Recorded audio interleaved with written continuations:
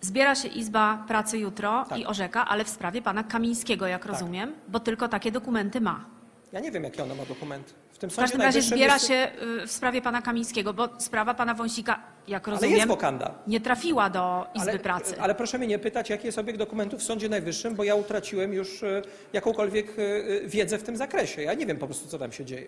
I kto, znaczy ktoś tym zarządza i ktoś za to powinien odpowiadać też, no bo jak ja bym miał taki bałagan w Sejmie, w kancelarii Sejmu, jak prezes Manowska ma w Sądzie Najwyższym, to bym się zaczął poważnie zastanawiać. Natomiast my dzisiaj mamy bardzo jasną sytuację. Na stronie wiszą dwie wokandy. Więc ja zobaczę, co się wydarzy jutro, tak? Jeżeli Sąd Najwyższy informuje mnie, że są dwie wokandy, no to znaczy, że ja się mogę spodziewać być może dwóch orzeczeń. Nie wiem i dlatego też chcę się wstrzymać e, z konkluzją dotyczącą tego uruchamiania e, w e, procesu obsadzania mandatów, bo ja muszę wiedzieć, co Sąd Najwyższy orzeknie we wszystkich swoich izbach, które są możliwe.